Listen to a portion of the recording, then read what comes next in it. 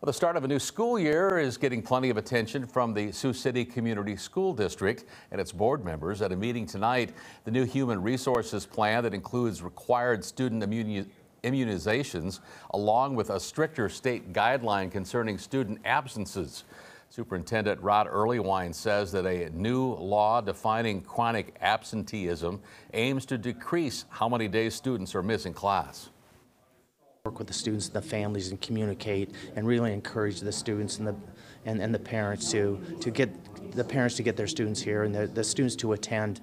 We know if they're if they're attending school, um, they're they're in a good, they're in a safe place, and their learning and student achievement improves.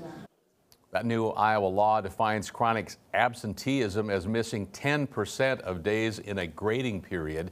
The next Sioux City School Board meeting is scheduled for September the 9th.